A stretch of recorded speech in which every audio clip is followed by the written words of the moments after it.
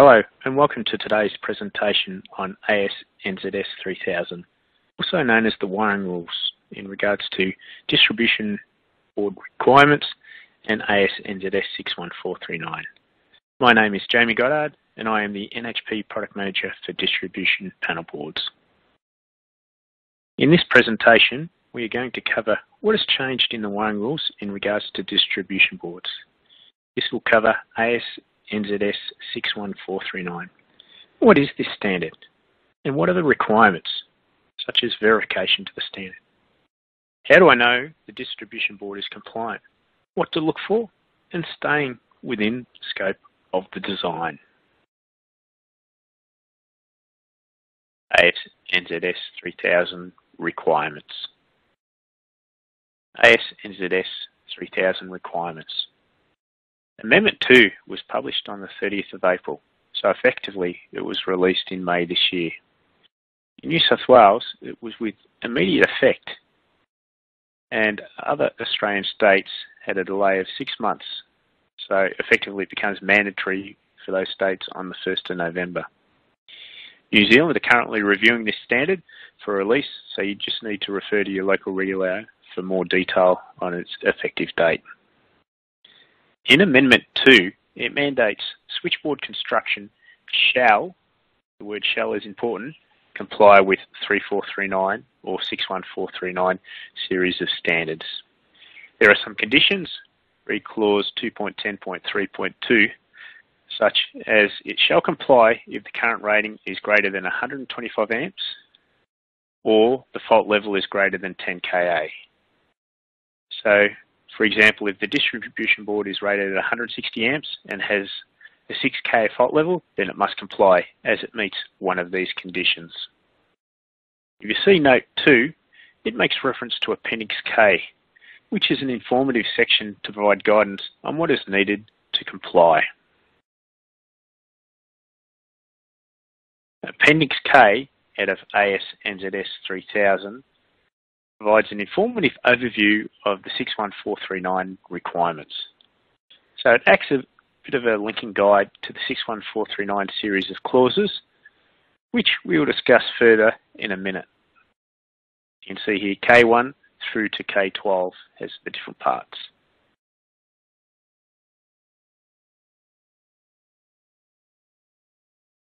What is AS NZS 61439? Why AS NZS 61439? The 3439 series of standards was the standard used for switchgear assemblies up until May 2016. In May 2016, the 61439 series of standards was released. There was a five-year transition period, of which then, as per the Australian standards, the 3439 series was superseded by the 61439 series. Note that the 3439 series is still referenced in the wiring rules, but it has been superseded, but it has not yet been withdrawn. The 61439 series is more thorough and detailed. It clarifies the specific requirements for testing and verification and removes some of the great areas of interpretation found in the 3439 series. This creates a more level playing field. The new standard aims to clarify legal and financial responsibilities in specification, testing, design and construction between the user and the assembly manufacturer.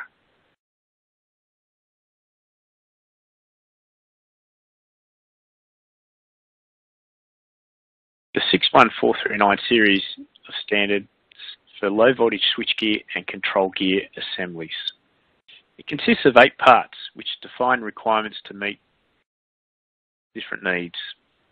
Part O is the general guide to specifying assemblies, with general rules in Part 1.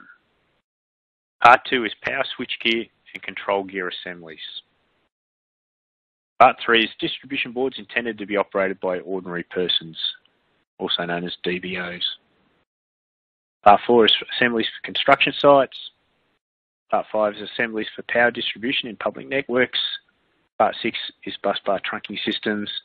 Part 7 for marina, camping, markets and charging. Today we'll focus on parts 2 and parts 3. So, part 2, power switchgear and control gear assemblies that we can see here on the left. 2 is designed for installation to areas for authorised persons only. Typical applications, industrial, commercial, and similar where operation by ordinary persons is not intended. It's typically a lock DB or in an authorised area only, such as a switchboard room. NHP offer these in commonly available current ratings of 160, 250, 400 or 630 amp. There's no current limit on the outgoing circuit and you can specify to have a form of separation. On the right hand side we can see part 3, distribution boards intended to be operated by ordinary persons or a DBO. So these are typically for use by anybody, a general person, typically unlocked for general access. The current rating cannot exceed 250 amps. That's an INA rating of 250 amps. That's the assembly rating.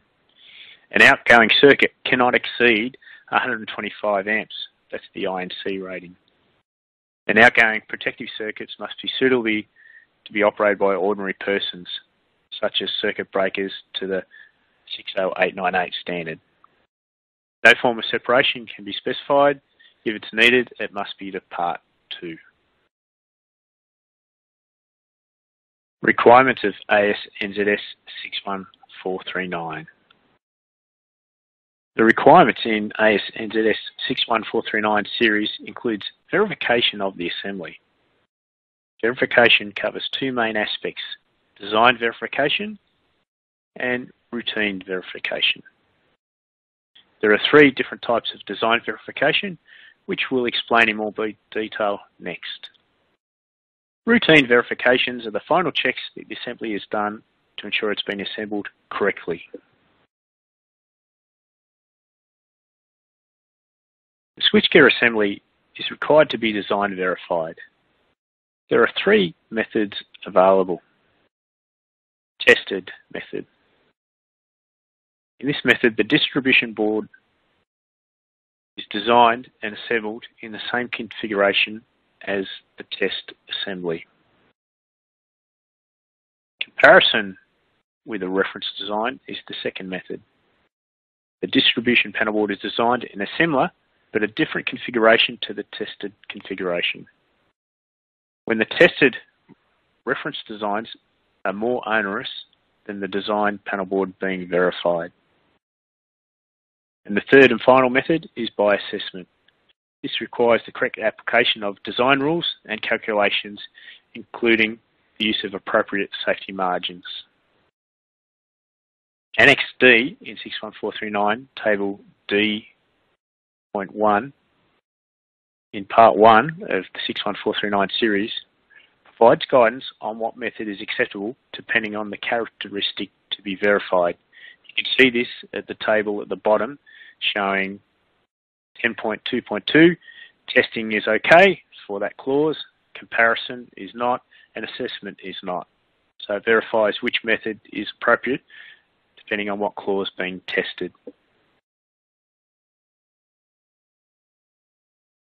Overview of design verification.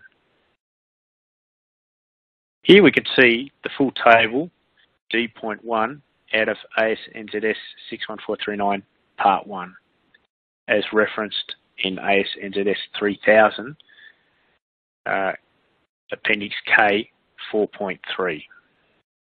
This shows all the characteristics and actual reference test clauses. They're all subclauses of clause number 10.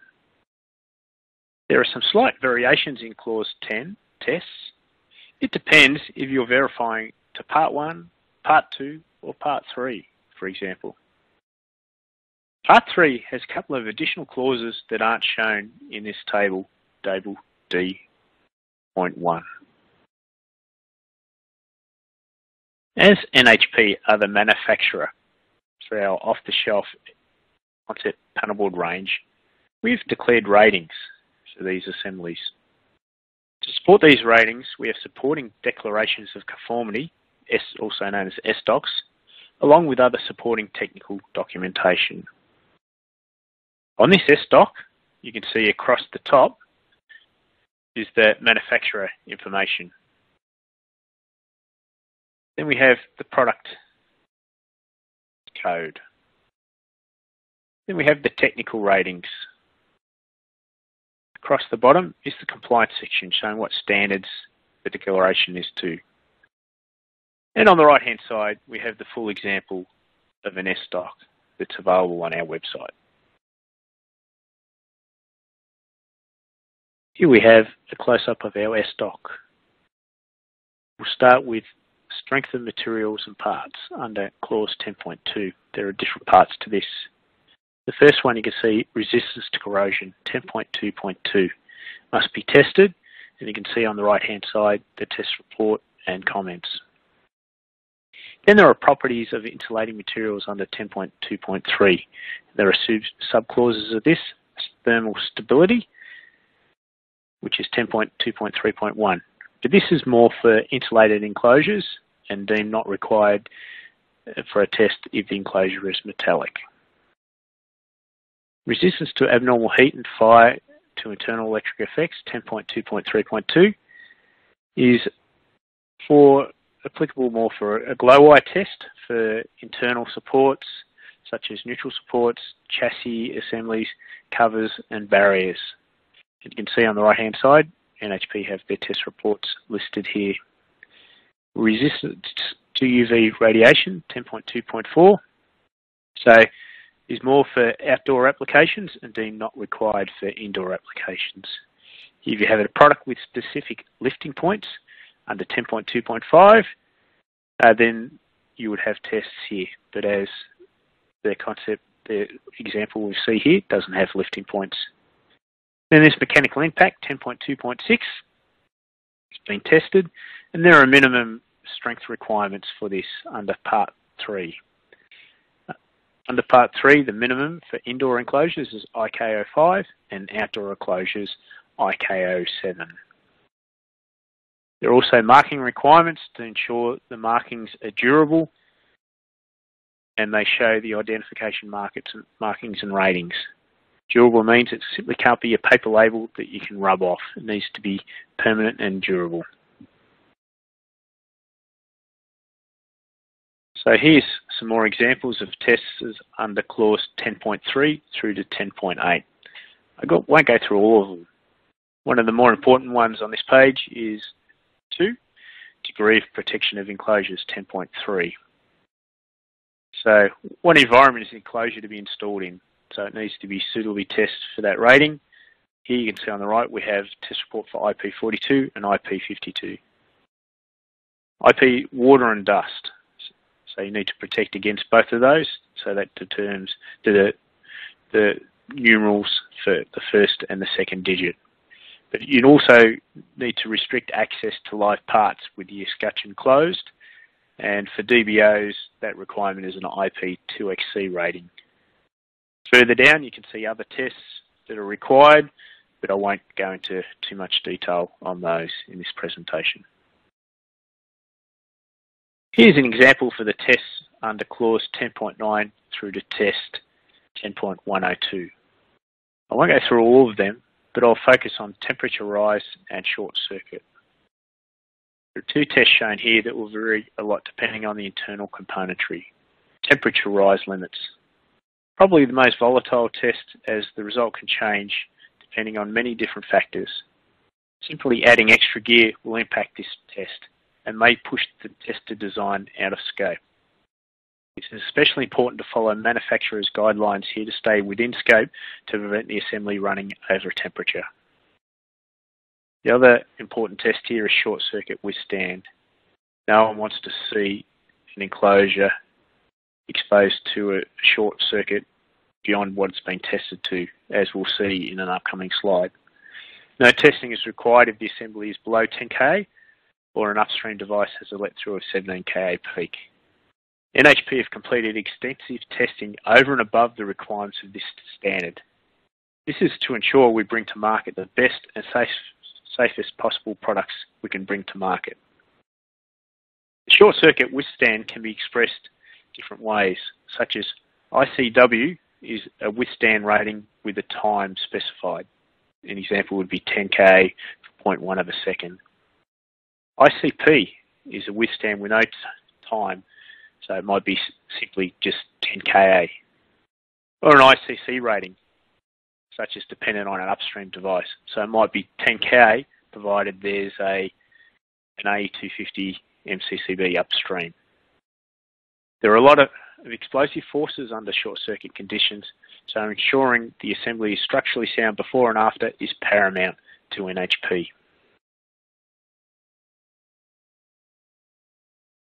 On our next slide, a video will pop up. And on this video will be an example of a short circuit test in the test station in Melbourne. This was a NESMA event, National Electrical Switchboard Manufacturers Association, a few years ago, showing the impact of short circuit currents. You can see here there's a roller door on the left. This would normally be closed, but due to this event, it's opened and there was a bit of perspex placed there that's clamped into place. When the test is happening, have a close look at the shock forces pushed onto this window during the test and even the reactions of the people behind it. This can show you how dangerous fault currents can be in the importance of having a tester designed.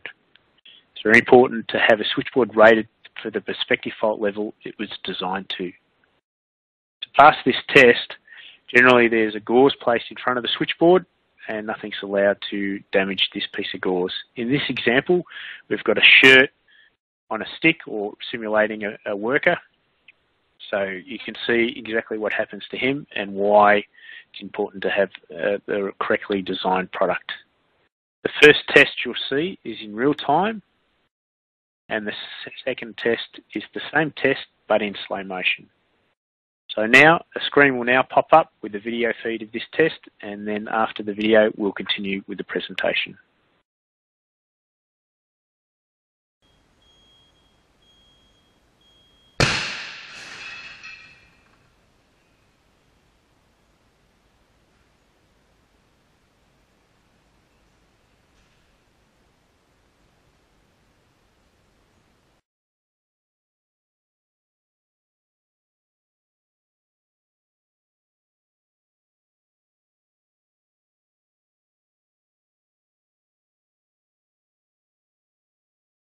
So that was a bit of an eye-opener, that video, wasn't it? You, you don't want to be standing in front of a switchboard when things go off, especially if it's not been rated correctly.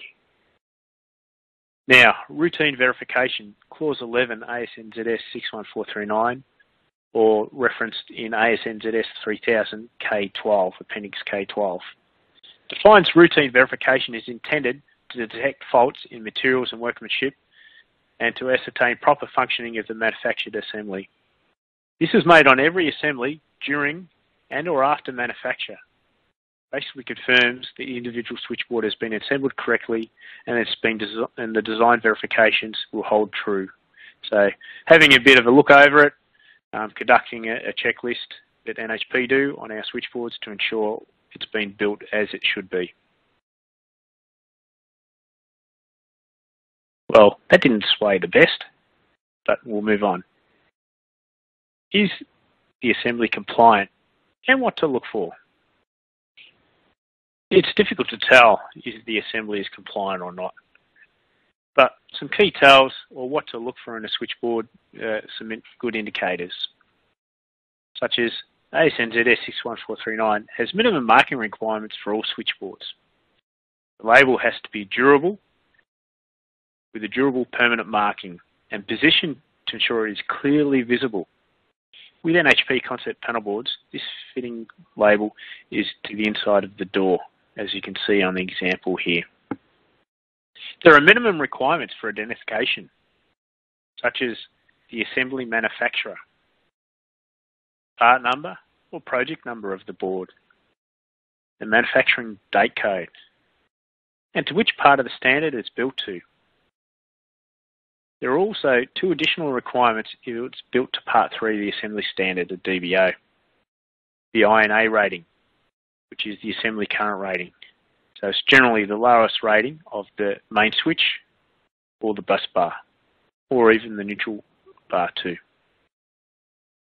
This is the easiest way to tell at face value if the board is complying to 61439, as the label is a requirement of both parts of the standard, or it can act as a red flag that the assembly is not complying compliant if it is missing. Other things could be the escutcheon for a DBO is not IP2XC, or if it's to part 2, IP2X. Other things could be the assembly stating a 10K rating, but there's only a 3K main switch, as most people only look for the bus bar withstand rating and not all parts of the assembly. So they're just key things to look for. It's not extensive, but it's just the first first look. There are other declared characteristics on top of the markings that are required to be on the assembly, such as Clause 5 as per AS NZS 61439 or as referenced in AS NZS 3000, the wiring rules, Appendix K or K.9 tells us the other characteristics that need to be declared. These ratings can be provided via catalogues for off-the-shelf items or included the declaration of conformance or manual supplied with the equipment. Some of these are the UE rating, which is the operational voltage, the rated current, which we talked about before, the INA, the INC, the rated current of a circuit, the rated diversity factor, or the rated short circuit withstand current. And we talked before about the three ways, ICW, ICP, or ICC. If it's to part three, the assembly standard needs to be declared if it's a type A or a type B, so for single phase applications or single phase or multi-pole devices. The current rating of the bus bars, the maximum size of the overcurrent protected device, such as suitable up to 63 amp MCBs, and the rated current of the neutral bar. Is it fully rated at 250 amp, for example?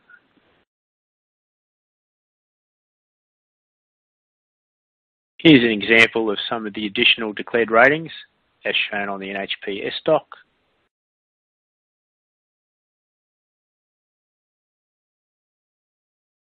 Summary of what to look for in an assembly. To be most comfortable, the product you are purchasing is compliant. What are the key things to look for? To start with, the rating label on the product. Then, does it have an SDoc supporting documentation? Then is there a tech data sheet with the additional information required? If any of these things are missing, it could place a question mark over the product compliance.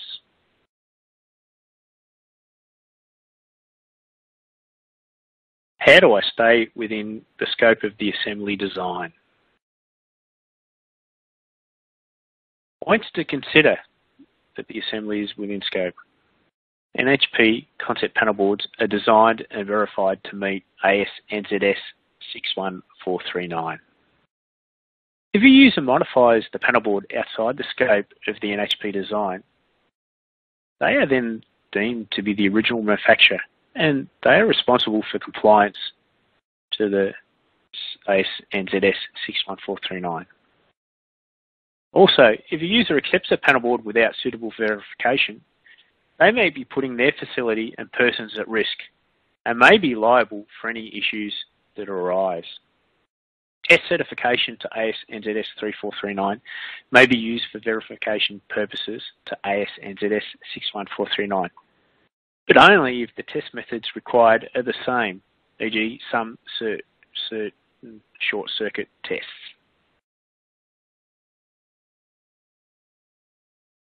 Staying within scope can be difficult to understand, but NHP has produced a handy brochure with information to 61439, which includes some information on staying within scope using the NHP concept panel boards, as you can see on some of the bullet points here. We'll examine some of these examples in the upcoming slides. Staying within scope. So how do you stay within scope? Best way is use the same brand of switchgear. Assemblies are tested with one type of switchgear and fitting other brands would generally go outside the scope as What hasn't been considered is the short circuit let-through energies and temperature rise testing would not have been performed. As a minimum, it would need to be assessed to see if it would be suitable. Much easier just to use the recommended brand inside that assembly. Follow manufacturer's advice and supporting documentation on what is allowed to be added to a, an assembly. Replacing like-for-like -like electrical components is allowed. As you can see on the bottom right hand corner of some in-scope additions on an NHP panel board. Here are some examples of in-scope NHP accessories that typically have very little heating effect. Running from the, the top left, we've got emergency lighting test kits. So great for controlling single point emergency lighting fittings. External lighting control, time clock, uh, contacted with an on-off switch and terminals and wiring diagram to, to go with it. Rain hoods for Concept Premier boards that are mounted outdoors to prevent a build-up of water on top. Gland plates, aluminium and brass gland plates, great for uh, being non-ferrous, so stopping eddy currents uh, when you're bringing in multiple cables, large cables in the top or bottom of the enclosure. Surge protection on the bottom left, a circuit protective device, a surge diverter, a loom, and labelling to suit. Great. Uh, concept isolator, uh, if you need to change the main switch from a, a 160 to a 250 amp rating. You may need to change the handle to a padlockable handle or a public works handle or a special key code. We can do that. Something that's often not considered as an accessory in InScope is uh, due to condensation. Um, you need to be careful if, you, if your board is uh, likely to consider uh, condensation due to rapid temperature changes or the environment it's installed in. We do have vents that can be mounted on the side of the enclosure and drains uh, that can be mounted on the bottom. So in the latest version of AS3000, it does make reference to consider these uh, because if your enclosure is maybe IP66, but it may still have an ingress or may produce water due to condensation, so you need to consider these type of accessories. Also for floor mount plinths. There are other devices such as DIN contactors and safety services kits that can be fitted, but there may be limitations depending on, on the rating of the board and its application. So you just need to be careful that it doesn't exceed temperature rise limits and you may need to contact the manufacturer in those cases. Some accessories that may be evaluated that also may fall out is flush mounting as this may affect the heat dissipation of the enclosure. Moulded case breakers directly connected to a chassis. Let's say a 250 amp set at 2, 250 amp moulded case frame set at 250 amp. Uh, the temp rise on this, I've only seen this successfully work up to 200 amps with many manufacturers. So if someone's claiming 250 amp, uh, you may want to double check that. Switchgear with large watt losses in the same assembly has an implication on temperature rise, uh, so you may need to consider that. And other brands of circuit protection, as they have different performances, such as watts loss. All these things need to be considered if you're staying in or out of scope of the assembly. If in doubt, contact the manufacturer. Staying within scope, in AS NZS 3000, repairs versus alterations. This is an interesting topic. It's often talked about and, uh, and we need to be very careful of. As per clause 1.4.8 in the wiring rules, we need to be care bit, careful about the definition of a repair versus an alteration. Definition of a repair, as per 1.4.101, repair or restoring assembly to a safe and sound working condition after deterioration or damage. Appendix K11 also provides guidance on repairs to existing switchboards. It's far easier to replace damaged parts with the same component but it may not always be possible when repairing older boards. However, an alteration, as per 1.9.3.1, If the work you're doing includes modification to the parts of the switchboard, this would be considered an alteration if it's not a repair, as if it's not classed under the definition of repair. If you're doing an alteration, you'll need to bring the switchboard up to the relevant provision of the current standards, which worst case may mean you have to even replace the switchboard. You need to likely engage with the device manufacturer or even the original switchboard manufacturer if you want to consider or conduct alterations so the work can be done and it complies.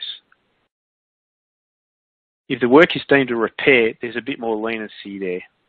When repairing a switchboard, you're allowed to use methods, fixtures and fixings that were applicable when the switchboard was first installed.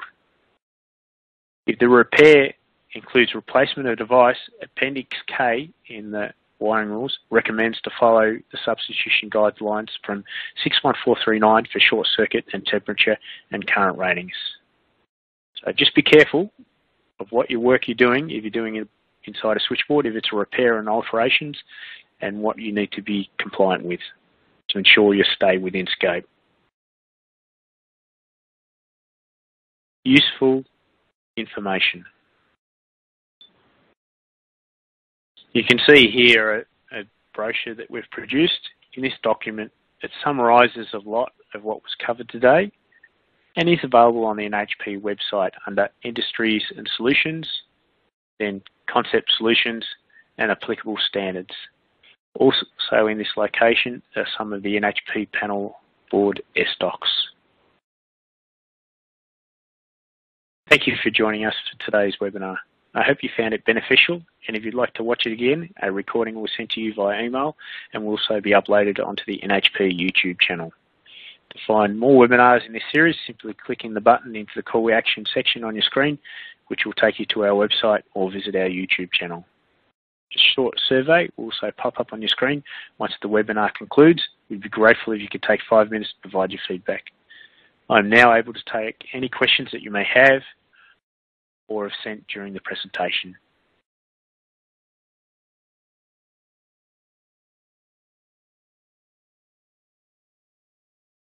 Okay, I've been going through some of the questions and we've had a few uh, few common ones that, that we're going to answer.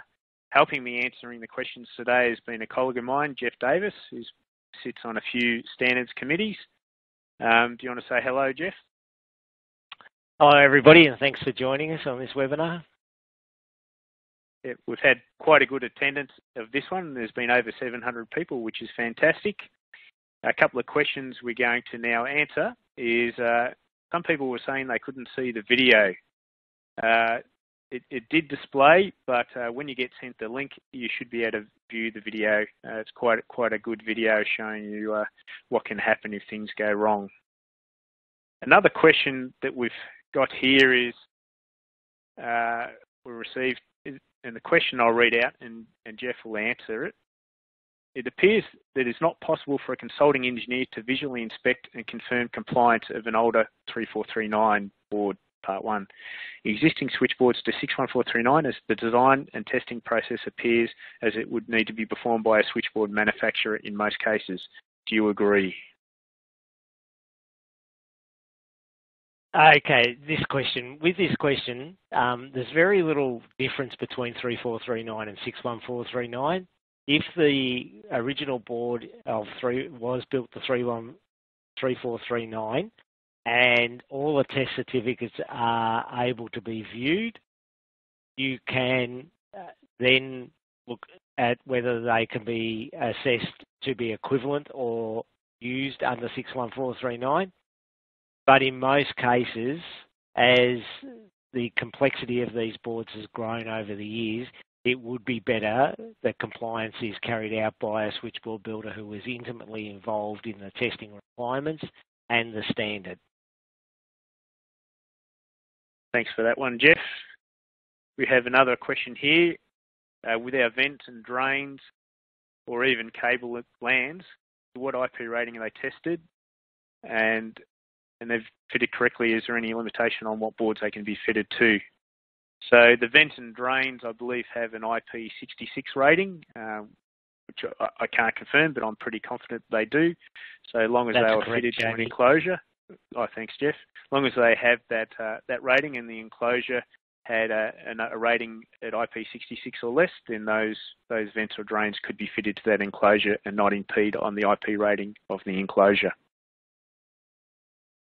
Also got a lot of other questions coming in. Um, we might have a, a quick look at uh, some of these. Um, are all the boards type tested or just ones per batch or series? So this is quite a good question.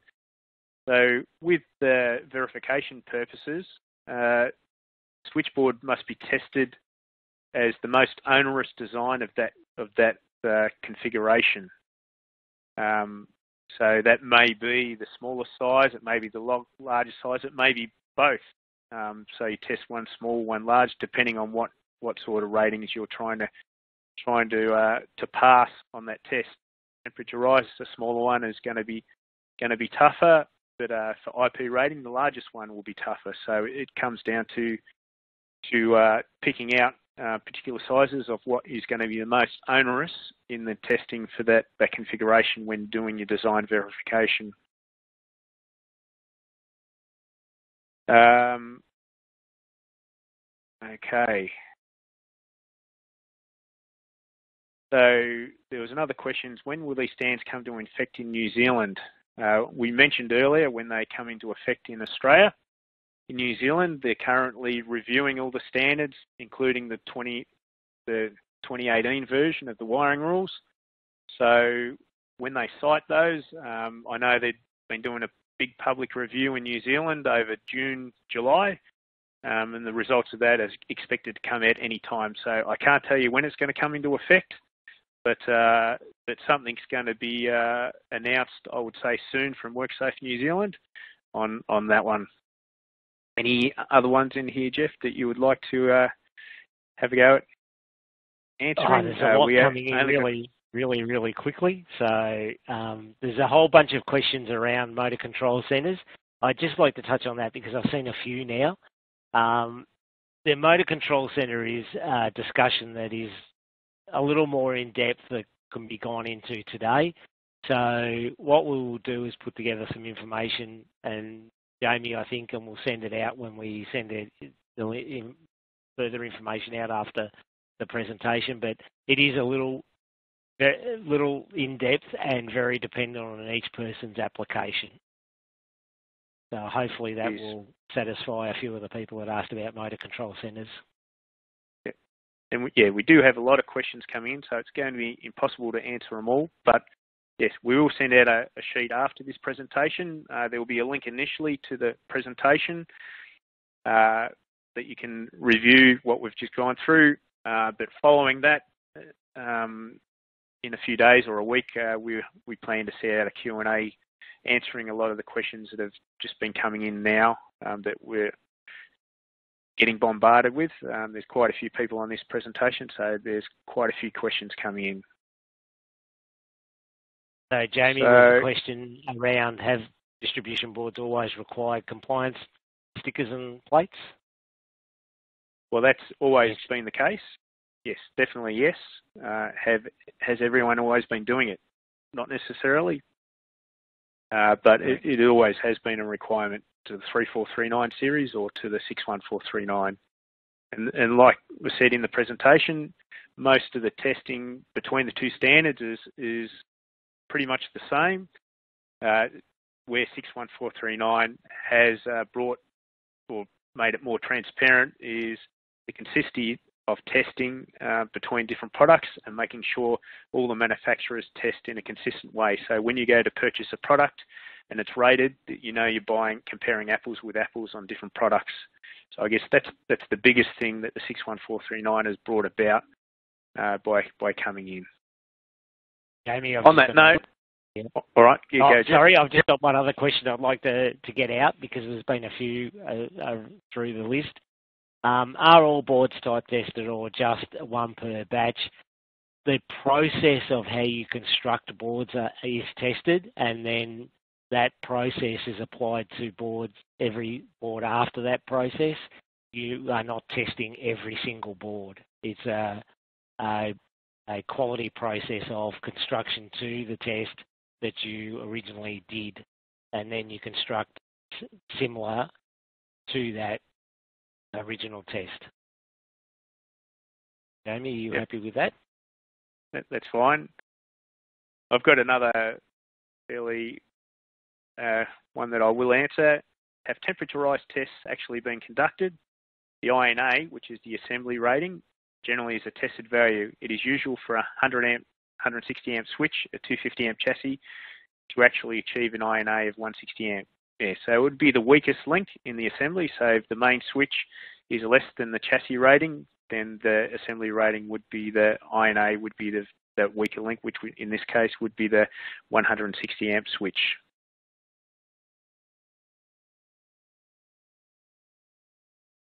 So on that, I think we'll call it. Um, we will respond to these questions in time, unless Jeff, you've seen another one you want to answer now. Uh, no, we'll, I was just uh, trying to pick up sort of similar questions across the um, the the huge number of questions that have come in. Yes, there's been been quite a lot. So thank you for your attendance today. Uh, thanks for helping answer these questions, Jeff. Um, we will respond to these questions and, and come back to you and uh, look forward to the link. If you're looking for information on what was covered today, you do have this video also on our website. If you go to uh, solutions and concept panel boards, you'll see a copy of the brochure that was uh, shown in one of the last slides, which covers a lot of the information that, that was uh, presented today. Thanks everybody for your time and uh, and look forward to our next uh, webinar Thank you.